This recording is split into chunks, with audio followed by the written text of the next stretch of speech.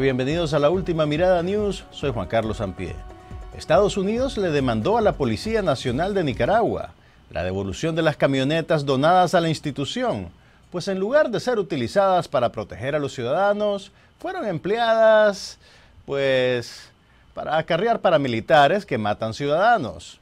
Mientras tanto, en Nandasmo, un grupo de jóvenes encontraron abandonada una camioneta Toyota Hilux color crema. La pobre andaba sin placa, pero la tarjeta de circulación emitida por la Policía Nacional revela que es placa M145835, propiedad del señor Alianza Partido Frente Sandinista de Liberación Nacional. ¿Qué nombre más raro? El propietario habita en el costado oeste del Parque del Carmen en Managua. ¿Quién vive en el costado oeste del Parque del Carmen en Managua? Ante el déficit vehicular, la policía está en plan de diversificar su flota de transporte.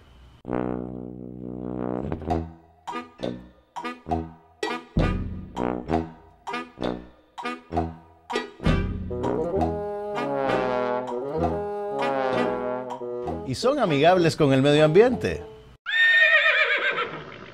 haciendo gala de un gran espíritu de colaboración el comandante y la compañera pondrán sus propios vehículos para acarrear a los paramilitares.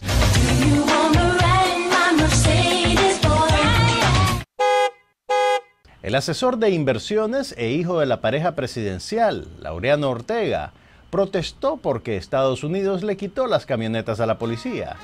Dice Laureano, recordamos que 17 mil millones de dólares es la deuda histórica de los Estados Unidos a Nicaragua.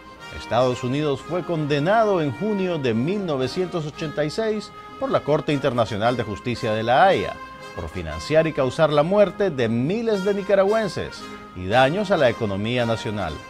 ¡Viva Sandino! What a difference a day made. 24 little hours. Parece que Laureano tiene Alzheimer. Su memoria de largo plazo es precisa, pero la de corto plazo como que no funciona bien, porque en los últimos años sus padres lavaron 4 mil millones de dólares de la cooperación venezolana y los desviaron a sus negocios privados. Llevaron a Linz al borde de la quiebra y le cedieron los derechos sobre el territorio nacional al empresario chino Wang Jing. Plata venezolana, fiesta rusa, trajes de Italia y relojes de Suiza. ¡Viva Sandino! De plano. El FSLN es el partido más fuerte de Nicaragua, pero eso no significa que se quede dormido en sus laureles. Para ponerse al día con las últimas tendencias mundiales, está siguiendo la hoja de ruta de una de las organizaciones políticas que más da de qué hablar. Cualquier parecido no es mera coincidencia.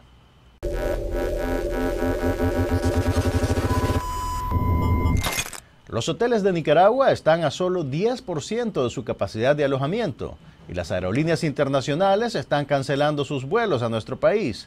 Pero eso no amilana al Instituto Nicaragüense de Turismo. El Instituto Nicaragüense de Turismo, INTUR, durante el próximo mes celebrará Julio Victorioso con más de 63 actividades culturales, religiosas y turísticas en homenaje al 39 aniversario de la Revolución Popular Sandinista. Tenemos un adelanto de las actividades turísticas que promueve el gobierno.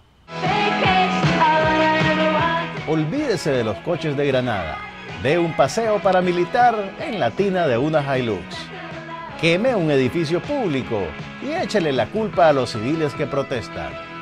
Vaya con la policía a desmantelar una barricada y llévese un adoquín de recuerdo. Es como Disneylandia, pero para psicópatas. Buenas noches.